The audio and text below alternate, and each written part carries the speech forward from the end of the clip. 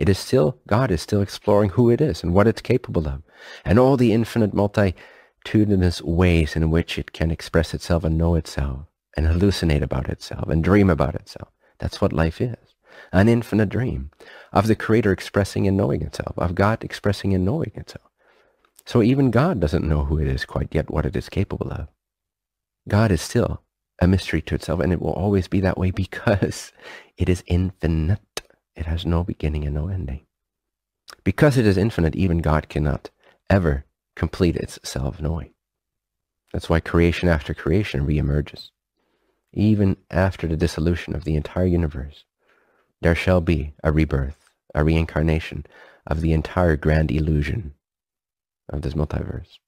Because the Creator is ever curious, and infinity ever wants to know itself and express itself. And here you are, an extension of that, a manifestation of that, the outcome of the Creator's curiosity. And here you are thinking with your physical human conditioned mind that you know what's best for you and what isn't, that you know who you are and who you aren't, that you know what's right and what's wrong, that you know what God is. Sorry. With our minds, we think we know what God is.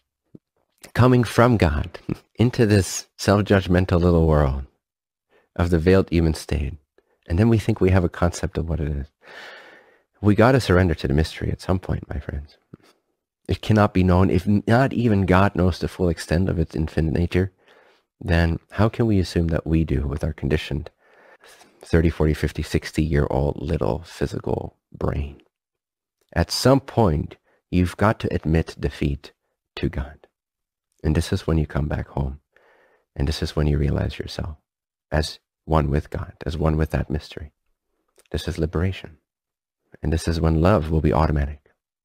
This is when you will know that at the deepest part of yourself, you are invincible. You are invincibly free. And therefore love is automatic. When you're free, love is automatic. If you're contained, if you are in a self-made prison of ideas and illusion and arrogance and pride, you cannot love. You can pretend to be nice. That's the best you can do. But you cannot love. Only God loves. No human has ever loved. Humans have opened themselves up to God's love to a lesser or greater extent, but no human has ever loved and never will. Only God loves. The human can only prefer, which is not a problem. I'm not judging it. It's just the mechanics of it. A human cannot love. You cannot do love. Because if it appears suddenly, if it's here today and it wasn't here yesterday, how could it be love? So if you're creating love today, it's a good attempt. But just understand the mechanics of it, nothing wrong with it, but the mechanics of it is what you're doing is you're opening your aperture to the love that was already there, but it was obscured from you by your own arrogance, by your own mindless thinking. And in the pause of mind, there is the I am that I am that remains, that is indestructible. When you stop thinking, you still exist. In fact, you know the fact that you exist that much clearer. This is the beginning of getting to know God directly through the power of mind, through the power of consciousness. And to then surrender to that, to relax into that, allows the aperture to open to this automatic love. But only God loves. We can either align to that, be open to that, be receptive of that, let it come through us, or we can be closed off to it by thinking that we know. And this is the real power behind the statement, thy will is my will. Because when we have this little programmed will that thinks it needs this or wants this or knows this, then my will is separate from thy will. And it creates this barrier. It closes the aperture. And then we suffer. So as much as we like to know that we're righteous and that we know and hold on to that little flame of light, it's really detrimental to ourselves to be arrogant and prideful and to think that we know. The mystery is much more beneficial to us as a being. It feels much better to surrender to the mystery and to recognize the fact that we exist and to merge with that. I hope this didn't go over too many heads. If it does, again, allow just the transmission to flow forth. Allow it to relax something in you, perhaps, some ancient conditioning, and just let it work its magic. You don't have to fully understand everything I said. And feel free to, of course, review this, rewatch this, and treat it like a guided meditation almost, which it kind of was. Now for some more practical tools, some more here, he, me as a human being, what can I do to enhance my access to this liberating love? And one thing is forgiveness of self, but also forgiveness of other.